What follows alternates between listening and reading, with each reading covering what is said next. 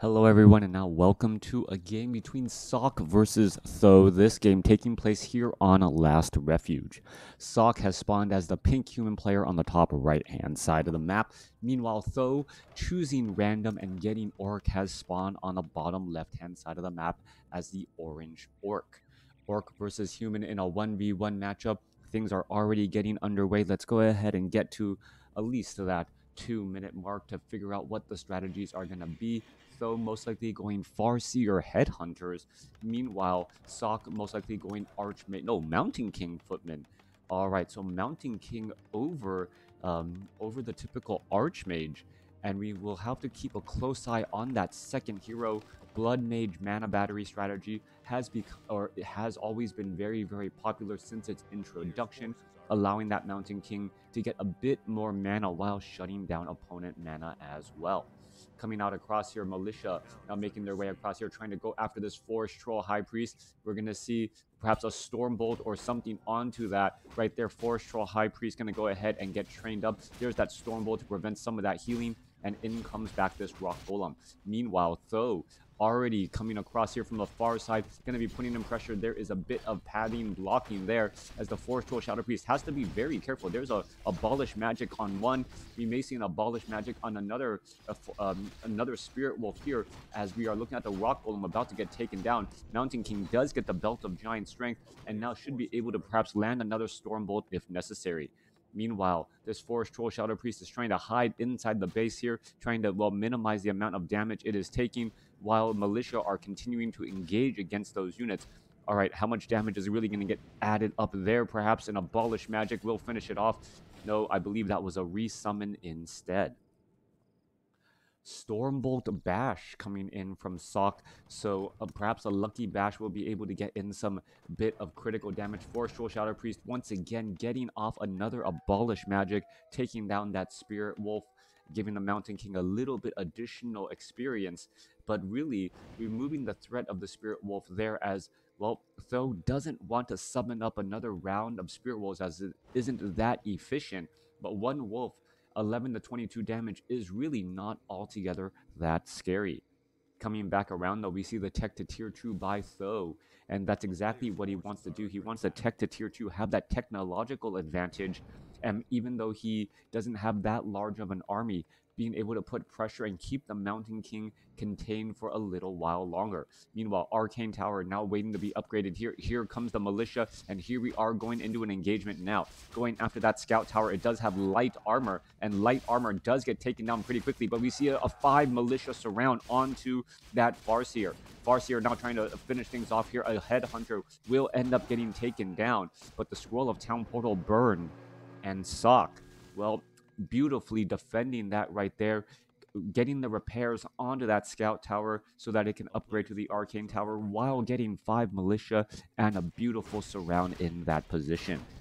Coming back through, though, now taking this opportunity to, well, all he can really do is heal up and now try and clear some creep camps of his own. He knows that he is a bit behind and needs to catch up in terms of level. Tier 2 nearly done. We should be looking at a Tauren Chieftain um, following things up as we do need a frontline hero. Farseer does have Claws of Attack plus 5, has plenty of items uh, ready to, well, pull back away if when the time comes no clarity potion being used right now as you can see that little one Murloc Nightcrawler trying to spread out all of that poison damage. Remaining Murlocs now looking to swarm up to the Farseer, but that can get taken down pretty quickly as well. Mountain King of Sok already sitting at level 3. It looks as though Militia going to turn back into that peasant form and now do uh, expansion here. Sok staying at um, staying at tier 1 and now getting up an expansion and trying to go for the long game who is going to come out on top? Is the expansion or the tech really going to be the driving factor in this matchup here as the Mountain King sits on a 20 supply army going up against 18? Back at home, we can see the Tauren Chieftain is being trained. We are getting uh, the Tauren Totem and a Bestiary. So Spirit Walker, Spirit Link with perhaps Raiders spread out all of that damage and well try and make a bit of a play. The Bestiary, however, already suffering a bit of damage here as the Forest Troll Berserker quickly hired up. You can see that the Forest Troll Shadow Priest A second one was added into that number as well as the Bestiary going to get taken down. That is going to be a big, big sore spot for Tho, as Tho has a technological advantage but has nothing to show for it as of yet, except for this Tauren Chieftain now making his way out onto the battlefield. Tauren Chieftain getting ready in into position. There's another surround onto that Farseer. Farseer using a potion of healing. There is a stomp right there, trying to buy some big time, getting in a big, big amount of damage. And there was also a chain lightning right there as well. Farseer, Scroll of Speed, able to back away. Stormbolt onto another Headhunter, going to get taken down. There goes the Forest Troll Shadow Priest. There goes a Berserker as well as a Tauren Chieftain. Could continue to fight. Bestiary was taken down, but the Voodoo Lounge with Potion of Healing allowing for the saves there as the Mountain King about to take down this Headhunter as well. All right. Mountain King now out of mana, gonna be retreating home, back off to the north. Farseer looking to perhaps disrupt a bit of mining. There's level 3 now on that Farseer as the Farseer getting some arcane feedback well from that arcane tower. Mountain King could be coming across to engage here in just a moment. A handful of low hit point footmen trying to dodge, both sides trying to dodge here as the Mountain King still does not have enough mana for a Stormbolt as of yet, but could, well, land one soon. Tauren Chieftain sitting at level 1 has a Clarity Potion, could hand it off to the Farseer to try and use it up. Meanwhile, the Tauren Chieftain needs to get to level 2 to move around the field faster. Tech to tier 2, about a third of the way done now for Sok as the economic advantage could translate into an army size advantage here momentarily. Meanwhile, a bestiary finally being built as the Tauren Totem now cranking out those Spirit Walkers for, well, Spirit Link to spread out some of that damage across multiple units. Tauren Chieftain will get to level 2 off of this creep camp here. Um, critical strikes coming across from those Feral Spirit Wolves as an Illusion Mountain King just wandering around once more. Tauren Chieftain wanting to finish off this Forest Troll Trapper creep camp. There is level 2 now Endurance Aura, most likely gonna be the um, the ability there, a little bit of a faster movement speed and overall damage increase as they are attacking slightly faster. All right. Farseer, well, items getting transferred around, dual claws of attack plus 5 on that Farseer for a total of plus 10 damage. If the Tauren Chieftain can somehow find its way to level 3, that level 2, um, that level 2 stomp with that larger radius is going to really cause a problem, especially if Sok doesn't have that Arcane Sanctum up yet for some Spellbreakers. Tauren Chieftain just that much more powerful as the Tauren Chieftain now makes his way out onto the well, makes his way into the middle of the battlefield here. We can see a lot of mercenaries getting hired up here. There's some Spirit Link trying to uh, save up some damage as the Headhunter now trying to retreat back. Torrent keeping more Spirit Link. There's a giant stomp followed by a Thunderclap. That was a retrain right there, so a lot of damage being done. Meanwhile, units are falling on both sides. Spirit Wolves are falling here. Tauren Chieftain could try and land another Stormbolt, but doesn't really have all that much um, damage to really capitalize on these units. 33 supply compared to 45. All of the footmen are now looking to retreat back once more as the Tauren Chieftain staying at level 2, unable to get to level 3. A very, very big setback. Now, Blood Mage is going to be that second hero. We are going into dual Arcane Sanctums for those Spellbreakers to try and mitigate when that Tauren Chieftain does get to level 3. Hi, Night Mist, how are you doing?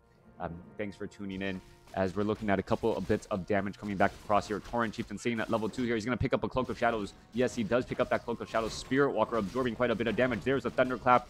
Spirit Walker trying to walk away now down to 87 hit points as he does is still taking a little bit of damage. Stormbolt finishes him off there as we're looking at a little bit more damage going across once more. More damage racking up here. Footman down to 206 hit points. He's going to be able to back away and now in comes the Blood Mage with plenty of mana to give could try and get in some thunderclaps. There you go, but only really hits one of those grunts there. That mirror, that Spirit Link making a very, very big difference as the units are now trying to retreat back. There goes one Footman once again. Blood Mage could try and give more mana as well. We can see a little bit of damage, no, an ensnare now onto that Mountain King as that Mountain King now back up to close to 200 mana, ready for more Thunderclaps. Blood Mage with very fast mana regeneration, units of Tho trying to recover, perhaps trying to heal back up once more. 39 supply over 41, but this game is getting away from Tho now. Sok is at tier 2. Um, we are not at tier 3 by Tho, so the headhunters are staying headhunters, not going to be upgraded to berserkers and have significantly less hit points. Meanwhile, we're looking at the Blood Mage and the Mountain King now looking to, well, just continue to add up a bit more mana. And this may be a pretty much all-in do-or-die attempt at that Northern expansion before it becomes too much. Sok perhaps realizing this, setting up some additional base defense here, perhaps going to come around the far side and now perhaps try and cut off any escapes here. Couple of ensnares going, or a ensnare going down onto the priest. One priest going to get taken down. Another ensnare siphon mana onto the Tauren Chieftain. Tauren Chieftain running out of quite a bit of mana, which wants to land in the stomp and will do exactly that there as we see a couple of ensnares here, catching his opponent off guard in midfield as Sok is trying to retreat back away. There's a Thunderclap going back the other way as well as the Farseer, while still looking to try and rack up a bit more damage again. Tauren Chieftain could throw down a stomp. Blood Mage gets taken down, and now it's just the Mountain King fighting here as Forest Troll Berserkers are falling as well. Mountain King could try and land a Stormbolt, does find a Raider to take and take down as Sok is now down to 34 supply. So catching his opponent off guard, and now perhaps going to get a couple of ensnares down to catch some more of these trailing units. 45 supply compared to 45. Sok does has rebounded with his army but has given a lot of experience to his opponent, who is now sitting at nearly level 4 on the Farseer and the Tauren Chieftain. However, was enough damage done? Sok already back up to 45 over 48 over 72 supply. His expansion is still working hard. Upgrades getting underway as more sorceresses and priests are joining the battlefield. Tauren Chieftain going to be just shy of level 4 off after this creep camp, but picking up a Tome of Intelligence and a Potion of Greater Healing as well. Maybe going up onto the high ground here, two level 3.9 heroes doesn't mean for doesn't make for very much of a problem um, really need to perhaps try and go clear some easy creep camp somewhere as the Farseer wants to also pick up some additional scrolls of healing, that would be very beneficial to try and offset some of that thunderclap damage. Here we are, here we go. Ensnares going down onto a couple of those priests and those casters in the back. That may be enough. There is a Stormbolt followed by a Siphon mana, Thunderclap as well, and the Tauren Chieftain is completely out of mana, unable to lay down any stomps. Farseer sitting at level 3, Mountain King sitting at level 5, level 3 Thunderclap, plenty of mana. We're going to see another Thunderclap right there, uh, well, capitalizing on that damage. So much damage suddenly taken um, by that entire Orc army here, as we do see a Kodo Beast, or one Kodo Beast had something in its belly. Okay, this Kodo Beast has something in its belly and trying to retreat away. Also healing up from some healing salves as well. Smart job or smart play by Tho purposely separating as we do see the expansion and down to the south side here is up and operational as well. So Tho is trying to turn this into a long game as well. Tauren Chieftain about to get to level 4. Farseer also gets to level 4. Medallion of Courage, a beautiful item for that Tauren Chieftain who now has a bit more um, a bit more going on from the Farseer. However, will need to use a Scroll of Town Portal in order to get out of this sticky, sticky situation. Scroll of Town Portal being used. Low hit point Raider. Raider, where is it going to go? Raider gets taken down. Forest Troll Berserker getting taken down there. Scroll of Town Portal back to this Great Hall here. They need to heal back up to try and defend this location as one Kodo Beast, I believe, did finish digesting. Nope, didn't finish digesting. This Kodo Beast is hiding on the inside here little bit more heals. Clarity potions need to be used. That Tauren Chieftain needs to perhaps even buy a potion of mana or two if he wants to have mana in the middle of the fight. The Blood Mage has been doing such a good job shutting down that Tauren Chieftain that no stomps have really come into play. There's a massive thunderclap right there. Peons could try to jump inside the Orc Burrows, and here we are, here we go, as the Orc Burrows offering a little bit of additional damage poking back against that human army. All right. A lot of damage done right there. Units are going to try and retreat back. There is some Spirit Link getting, well, cast across the unit. 76 supply compared to 64. A little bit more healing coming back across here. And where is the additional army units? We are looking at triple Arcane Sanctums and now Inner Fire being added in. Thunderclap three peons falling from that simple slow clap right there as more peons will need to be trained up. All right.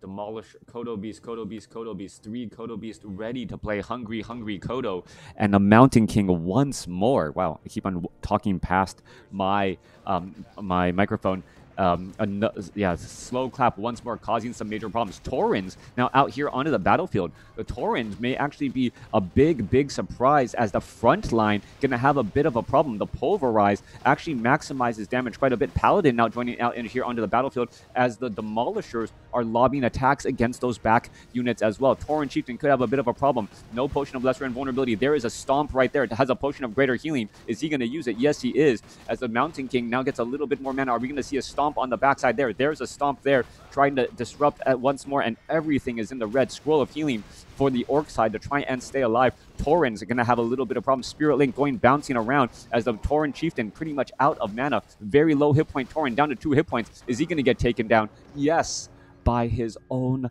friendly fire. The Demolisher with that splash damage takes down that Tauren. Um, that Tauren right there in that front line position. No experience given but still a pretty, pretty heavy blow. But then again, it's also difficult to heal up that 1300 hit point Tauren when it does fall. Or unless the Spirit Walkers have mastery training. Do they have mastery training? Um, oh, another thing to note the, the Tauren cannot get resurrected, as when you die to a Demolisher hit, you do not actually leave a corpse. Siege damage does not leave behind corpses. So that's another thing to note. Spirit Walker is coming back around on the other side here. Tauren ready to go. Farseer ready to go as well. We're going to see 55 supply compared to 77. Sok is still in the driver's seat of this game. This Mountain King with a mana battery and potions of mana so difficult to deal with on top of those rings of protection plus three. I don't know why there's a delay. I'm not setting a delay in the stream. Um, maybe I should, I don't know, can I set like extra low latency so I can interact with my viewers a bit better?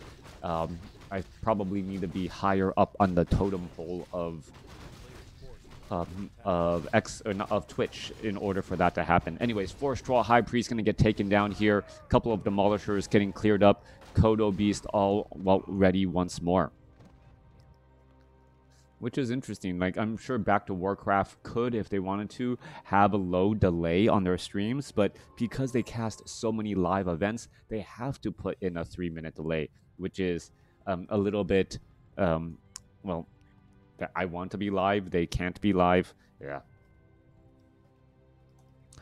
all right, 80 supply going up against 68. Blood Mage still does not know Flame Strike. Does have Banish though to try and clear things up. Kodo Beast Demolishers do have that um, extra bit of damage. Um, what? It's not. Is it Liquid Fire? Liquid Fire, I believe, is the Troll Bat Rider. Is it the same upgrade? Uh, you guys know what I mean. Adding a little bit of red to that Demolisher attack. There's a Thunderclap right there. And there is that damage over time. Units are trying to retreat back as we're going to go ahead and engage. If it's, it might as well go to YouTube and comment instead. Yeah, Cyclone picking up that Blood Mage there as we see more damage raining down onto that backline position. Shadow Hunter joining in. Tauren Chieftain trying to make his way to the far back. Perhaps trying to land a Stomp. Does get a Stomp here, but now trying to break free as the Spellbreakers are going to get into that position. Kodo trying to continue to eat. Tauren Chieftain down to 250 hit points. Healing Wave does fine bouncing around, but getting blo body blocked by that own Headhunter there could cause problems. Tauren Chieftain continuing to finish things off, trying to get in some more Stormbolts, has plenty of mana, can get in the win there as Tho leaves the game. Sok is victorious, and for some reason, it's not going to the score screen. All right, end game, quit game. Will it show me the score screen? Yes, it will. All right, so Sok comes away with the victory over Tho. Um, pretty clean victory right there. And out expanded, uh, Tho unable to really capitalize on that tech advantage early on, especially with losing that bestiary. Um, just a really, really timely attack by Sok, offsetting things. Thanks for watching. Thanks for listening. Hope you guys enjoyed it.